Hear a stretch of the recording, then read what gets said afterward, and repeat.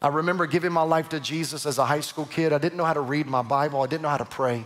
And my youth pastor taught me how to pray. And one of the ways he taught me how to pray is he taught me what's called ACTS A C T S, ACTS. Adoration, confession, thanksgiving, supplication. Adoration.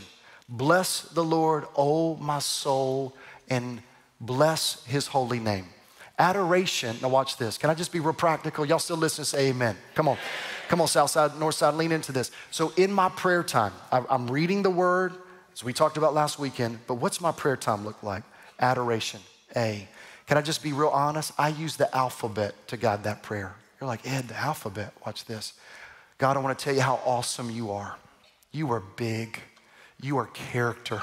You are my deliverer. You are my eternal life. You're my forgiveness. You're my grace giver. You're holy. Thank you that I got an intercessor. Thank you that you are my justifier. Thank you that you are my kindness. You give me your limitless love. Thank you for your mercy. Thank you that your name is higher. Thank you that you're my overcomer. Thank you that you're my power. Thank you that you are my rest. Thank you that you are my strength. You're my tower. Now it gets a little weird when I get to Z. You're my zenith, right? So, but you see what I'm doing? I'm just blessing his name.